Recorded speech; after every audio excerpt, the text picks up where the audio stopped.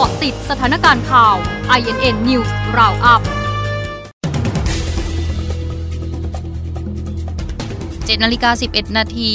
กระทรวงสาธารณสุขเร่งส่งผู้ป่วยโควิดตกค้างเข้าระบบวันนี้ สาธิตวอนอย่าปฏิเสธเข้ารับการรักษาอย่าเลือกโรงพยาบาล แพทย์ประเมินตามอาการ 7นาฬิกา20 นาทีศักสยามจอเสนอรัฐบาลฉีดวัคซีนป้องกันโควิด -19 ให้กับผู้ปฏิบัติงานแนวหน้าภาคคมนาคมขนส่งทุกระบบ มอบปลัดกระทรวงตั้งคณะทำงานดู 7นาฬิกา34 นาที จังหวัดระยองฉีดวัคซีนโควิดแล้ว 12,000 ราย ขณะผู้ว่าราชการจังหวัดลั่น ยังไม่ขอความร่วมมืองดออกจากบ้านหลังสามทุ่มเหมือนกับจังหวัดนนทบุรี ล่าสุด7นาฬิกา47 นาที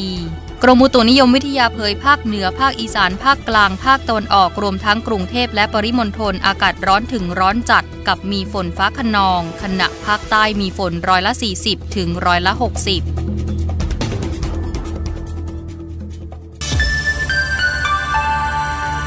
ติดสถานการณ์ข่าว INN News Roundup